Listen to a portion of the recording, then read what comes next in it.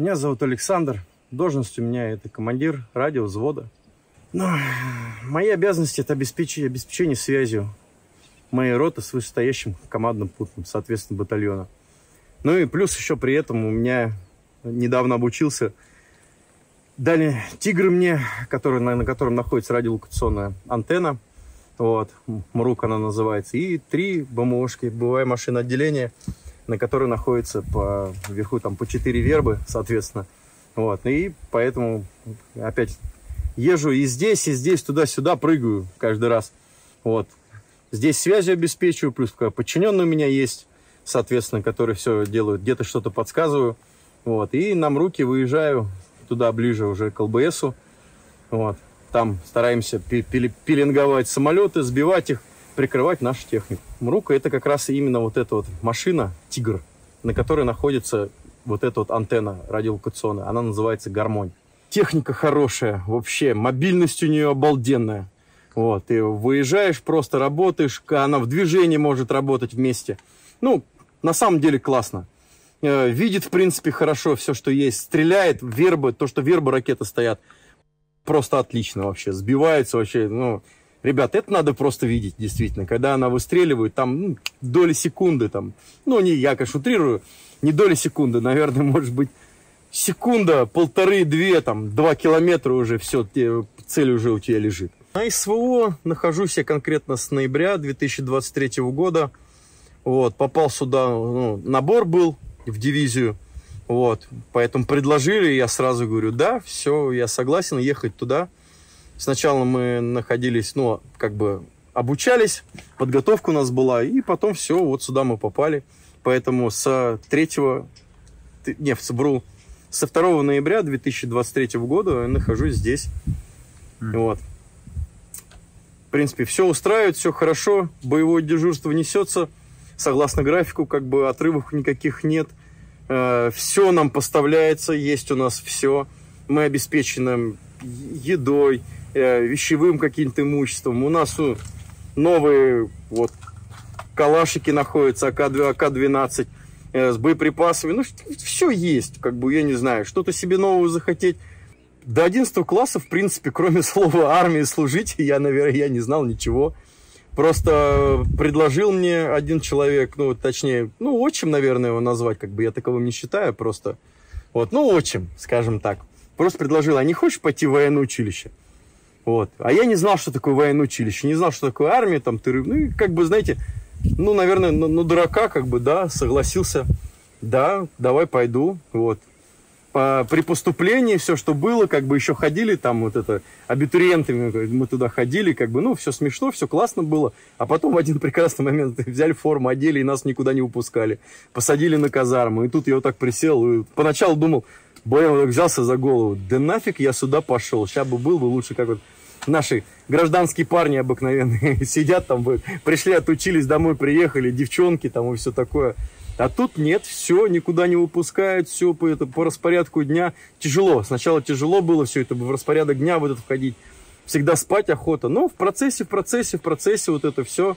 Вот. И в итоге отучился, все, и ушел. И вот как ушел, так и продолжай служить. Вот уже как уже сколько, чистыми уже 22 года. Вот. Без, льготных я не беру, что в Сирию там ездил. Вот здесь вот тоже уже выслуга, насколько она уже больше идет, как бы. Вот, ну вот, вот как-то вот так вот. Так и стал военным в итоге. О, родом я с Тамбовщины, Тамбовский волк. Вот, родился село Липовка в Тамбовском, э, в, э, в Тамбовской области. Вот, сам живу в Тамбове, все у меня находится в Тамбове, отучился я в Тамбове. И поэтому в отпуск хочу я поехать в Тамбов. А отпуск вот скоро у меня должен быть. О, в отпуске у меня две великолепные мои дочки находятся. Вот. Старшая уже, ей вот 18 лет сейчас вот будет. Буквально тут через месяц, даже меньше уже остался. 26 дней. Вот. И, ну, старшая уже понятно, что у них свои движения, там тыры-пыры. А вот младшая, это каждый день со мной на звонке. Пап, привет, как дела, там тыры-пыры, все. Вот младший в большей степени. Сейчас приеду, сразу ее беру на море, вот, все, что нужно к школе, сейчас нужно готовить, покупать. Вот, поэтому хочу к младшей дочери просто приехать. Привет, соответственно, моей семье. Dobroveče, poštovani gledaoci. Vi gledate aktuelnosti, a moje ime je Sanja. O dešavanjima na ukrajinsko-ruskom frontu, Kurskoj i Zaporoškoj oblasti sa nama večeras govore naši cenjeni gosti. Ljuban Karan, bivši oficir KOSA. Poštovanje i dobrodošli. Dragan Vasiljković, kapetan Dragan, poštovanje, dobrodošli. Slobodan Dimitrijević, Srpsko-Rusko bratstvo, dobrodošli. A, bolje vas naša. Hvala. Gađana je Zaporoška oblast nakon koje je izbio požar u Zaporoškoj elektrani. Pogledajmo prilog.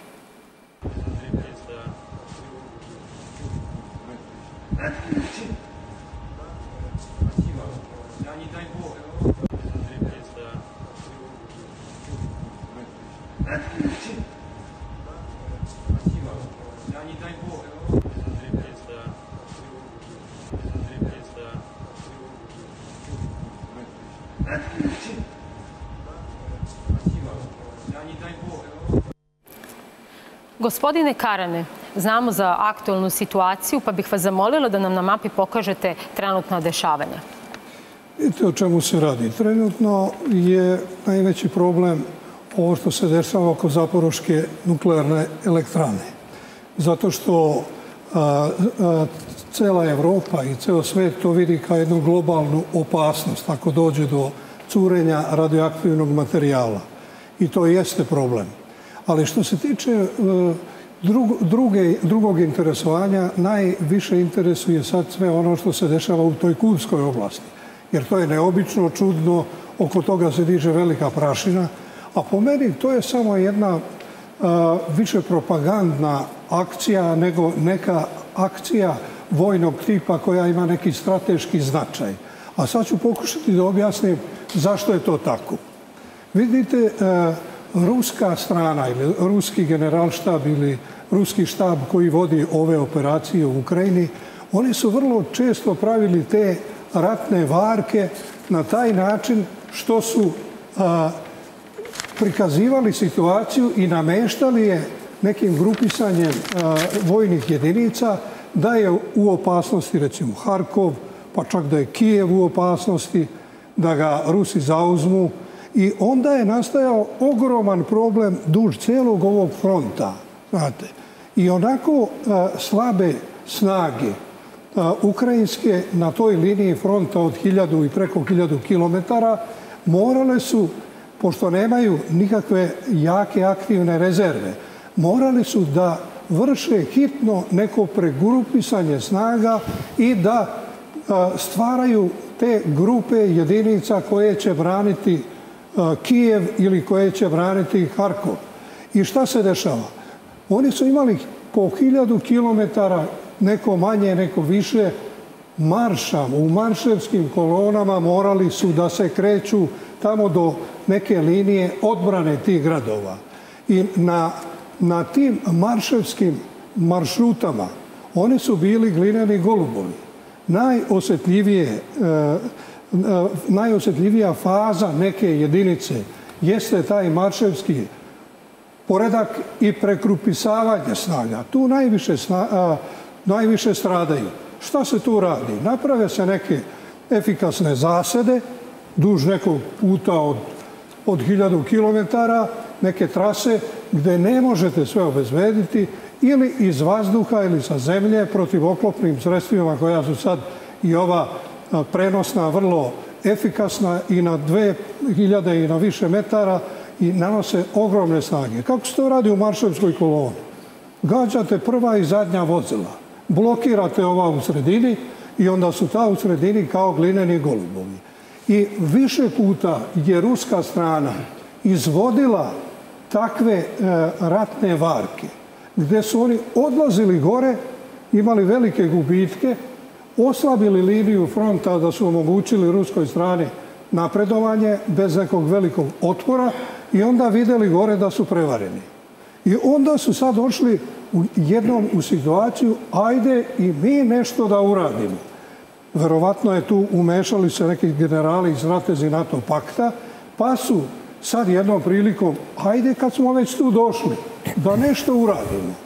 I oni su probali da uđu i videli su da to nisu nešto žestoko branjene zone, granica sa Ruskom federacijom, zašto nisu branjene zone?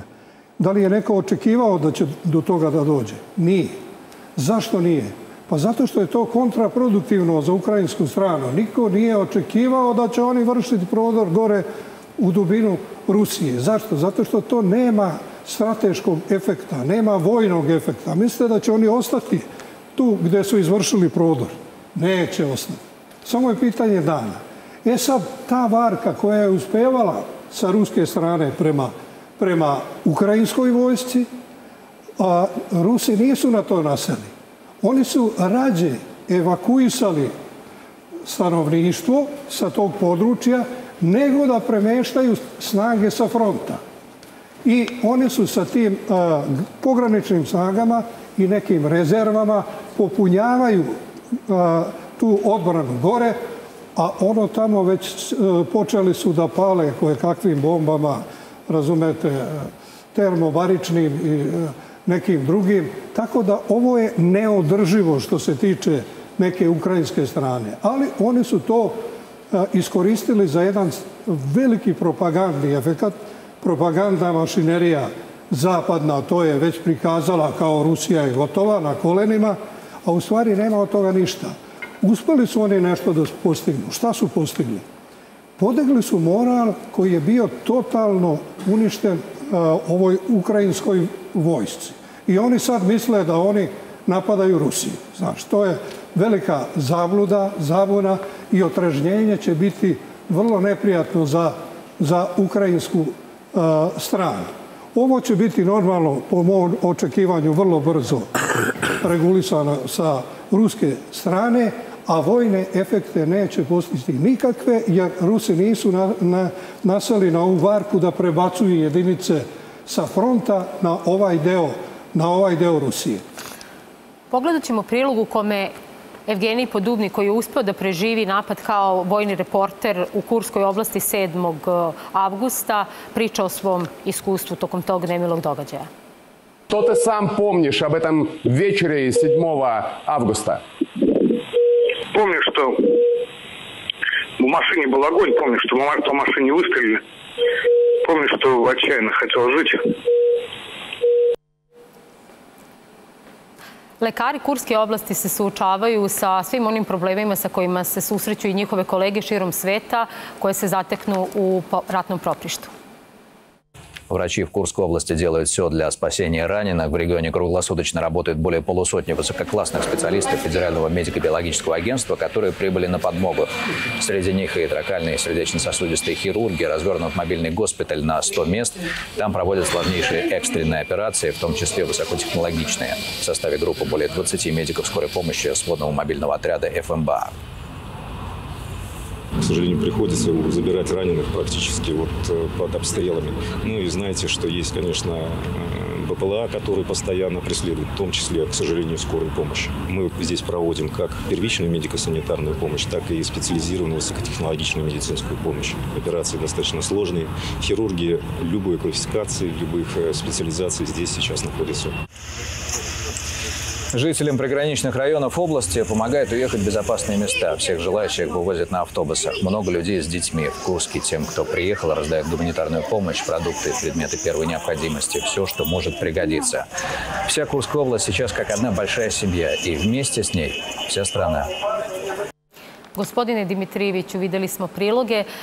U jednom trenutku Podubni kaže da je očajnički želeo da živi.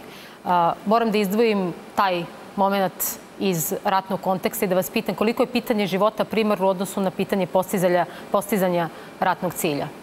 Ovde u ovom, prilikom ovog projektovanja operacije potpuno su bili svesni ukrajinska, da kažem, analitika da šalje ljude u sigurnu smrt. Dakle, ovo je jedan Potpuno se slažem sa kolegom Karanom kada je rekao da je ovo marketinška akcija i da je ona pre svega trebala da privuče pažnju i da izmeni javno mnenje, znači na kraju krajeva ako hoćete i čitavog čovečanstva koje prati onih koji prate sukob u Ukrajini. Dakle, sa 1350 ljudi, 30 tenkova i nekoliko stotina nekih vozila, da li oklopnih, ovakvih i onakvih, se ne može da napada Rusija i to je potpuno jasno da je imitacija nečega što je u istoriji, na kraju kraja u istoriji ratovanja poznato. Rusi podsjećaju da, se, da su se termopile branile sa 300 Spartanaca i da je prosto to bio sličan, slična ideja da se ljudi žrtvuju, ali da se postigne jedna pre svega, ne, nije, pošto znamo da je kako se završilo to u antičko vreme, da nije to odbranilo Grčku, ali se podigao moral i posle toga je to sjajno, snažno Persijsko carstvo uništeno. Tako da ovdje je bila pre svega ideja da se na neki način pokaže, a naročito pre, opet moram da se vratim na te američke izbore koji izgleda da su i važniji nego što ih mi vidimo, da se pokaže da podrška ukrajinskoj vojsci nije besmislena i podrška ovom ratu i njegovo projektovanje isto tako nije besmisleno. Dakle, Projekt koji sasvim sigurno tri i po meseca praćen od generalštaba Ruskog nije prošao nezapaženo. Stotine i stotine informacija su stizale svakog dana o dešavanjima tamo. Projekt koji su Rusi prihvatili, bukvalno prihvatili i rešili iz njima poznatih razloga da tu igru igraju. Šta se može da izvuče s njihove strane kao, kao pozitivno u svemu ovome? Pa sasvim sigurno mogu da proglase novu dodatnu mobilizaciju koja je uvek nepopularna na svom prostoru i da na kraju krajeva ojačaju granice, što će im svakako biti potrebno u budućnosti kada evo Nemačka najavlja da za pet godina mora njihova vojska da se sukobi sa vojskom Rusije. Znači to je jedna od mogućnosti. Zatim da se dodatno pokaže potreba da se ozbiljnije napreduje i da se ostvare ciljevi koje su oni zacrtali, o kojima se nije govorilo na samom početku. Znači, sasvim sigurno to nije denacifikacija i onih e, par, da kažem, teoretskih stvari koje oni e, predviđaju da trebaju da ostvare, nego i osvajanje jednog dobrog dela ruske teritorije. Puno puta smo govorili o tome da je mala šansa da se oni zadrže samo na ove četiri oblasti i da smo sa onako ozbiljnim interesovanjem razmišljali i, i ozbiljnom analizom šta će da se dešava sa drevnim ruskim gradom Kijevom. Da li će oni to da prepuste ili će se ipak zbog određenih situacija, okolnosti i tako dalje, da i taj grad uključi u ono ka čemu oni imaju aspiracije ili, da kažem, pokazuje apetit. Dakle, da ga osvoje. Svakako, ljudi su žrtvovani, ukrajinska operativa vojna je ovim ciljem žrtvovala, je žrtvovala svoju vojsku ovim zadatkom, ali ono što se postiglo, postiglo se upravo ogromno medijsko, pozitivno razmišljenje na drugoj strani onih koji možda na neki način navijaju za njih i eto tako dali su nadu možda u nekakve ozbiljnije buduće akcije i, i mogućnosti ukrajinske vojske, bez obzira što je svakome dobronamernom jasno da oni iz ovoga moraju da izađu kao strana koja će kapitulirati. A da pogledamo napredovanje tenkova na terenu.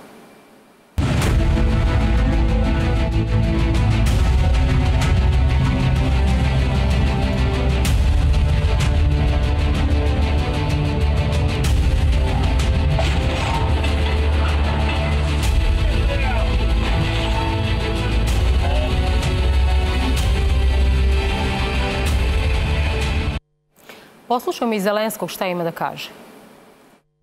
Бажаю здоров'я, шановні українці, українки. Перш за все, відзначу за цей тиждень усіх наших воїнів, бойові бригади, які дійсно результативно захищають нашу державу, знищують окупанта.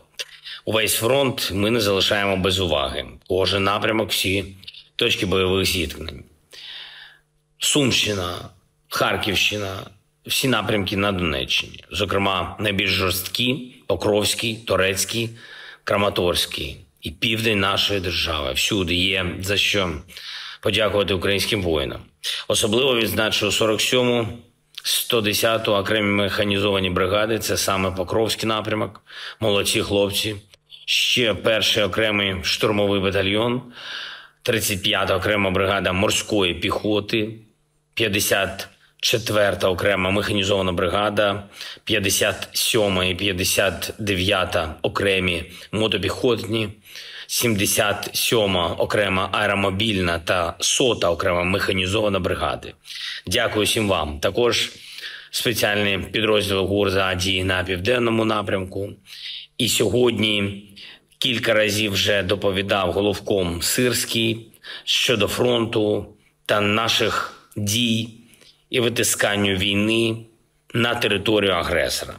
Дякую кожному нашому підрозділу Сил оборони, які це забезпечують. Україна доводить, що дійсно вміє повертати справедливість та гарантує саме такий тиск, який потрібен тиск на агресора. Також я хочу подякувати партнерам, всім тим, хто зробив тиждень результативним у санкціях проти Росії та осіб, що з нею пов'язані. Щотижня це повинно відчуватись, що санкції дійсно працюють, і кожен, хто намагається їх якось обійти, отримує відповідь світу. Ми готуємо нові рішення, які обмежать російську державу. Я дякую за нові оборонні пакети для України. Є цього тижня американські пакети, ракети для стінгерів, снаряди для хаймарсів, артилерія 155 калібр. Ми працюємо заради вчасної логістики, щоб допомога була відчутною на фронті якнайшвидше. І дуже ми очікуємо рішень щодо далекобійності і від Сполучених Штатів, і від Великої Британії, і від Франції. Сильних рішень очікуємо, які наблизять справедливий мир. І ще одне: я провів щойно нараду підготовчу про рішення, яке зміцнить нашу українську духовну незалежність. Ми маємо позбавити Москву останніх можливостей обмежувати свободу українців. І рішення для цього повинні бути на 100% ефективними і дійсно працюючими. Ми їх забезпечимо. Слава Україні! Kapetane Dragane, na osnovu vašeg impozantnog životnog iskustva, šta možete vi da nam ispričate o aktualnoj situaciji u Kurskoj oblasti i generalno ukrajinsko-ruskoj teritoriji ratovanja? Sjajno, ja se apsolutno slažem i svakom izgovorenom reći pukovnika Karana. Mislim, nema potrebe da dalje diskutujemo o tome, on je sve to jako lepo, kratko i jasno objasnio. Međutim, imali smo mi jednu analizu pre početka ove emisije i ja, a, o generalnoj situaciji u Ukrajini. I došli smo do interesantnog zaključka. Svi se pitaju zašto Rusija napreduje tako sporo, zašto traje to toliko dugo i to je fair pitanje. A, vidite, kogod je imao veze sa analitikom, taktičkom analitikom, reći će vam da snage, da e, kopnene snage koje napadaju mogu da očekuju tri do pet puta veće žrtve nego one snage koje se brane. Mi imamo diametralno suprotnu situaciju u Ukrajini, gde tri do pet puta veće žrtve su na ukrajinskoj strani, a ne u Rusku. Kako su to Rusi postigli? Prilično jednostavno. Tako što su zauzeli teritorije u samom početku, postavili vrlo čvrste linije i naterali Ukrajince da napadaju. Ukrajinci moraju da napadaju kako bi dobili pomoć sa zapada, kao, koji, kao na primjer što su ovo radili um, posljednjih dana, i zato imaju tolike žrtve. I mislim, i slažemo se da je, da je to ruska taktika. Krenu napred, dobro se ukopaju, čekaju Ukrajince da napadaju, tako da Ukrajinci imaju daleko veće žrtve. Mislim da, da to ima logike i a, tu nema nekih velikih pomeranja, ali kons, vidimo konstantna pomeranja ruskih snaga u napred. To su mala pomeranja, ali su pomeranja. Želela bih da čujem vaše mišljenje, gospodin Dimitrijević. Isto u vezi ovoga. Da, da, ako biste mogli da prokomentarišete. Pa, ja, nažalost, vi znate da ja uvek navijam za Rusiju, ali mnogo što što mi se ovde i ne dopada.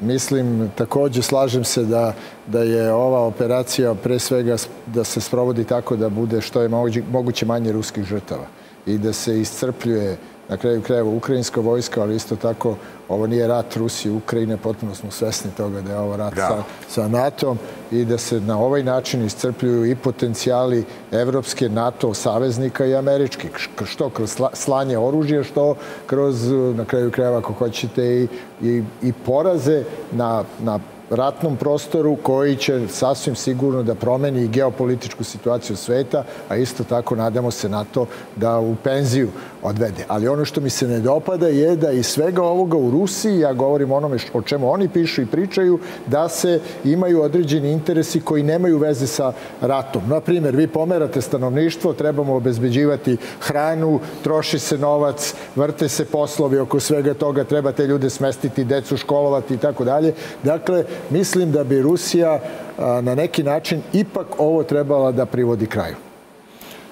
Možete li vi da nam date vaš osvrt na ovu situaciju, jer vidimo da se zapravo dosta uzavralo poslednjih dana, a imamo i informaciju o izbeglicama da su Čečeni rekli da bi prihvatili svo stanovništvo Kurske oblasti i kako na sve to gledate?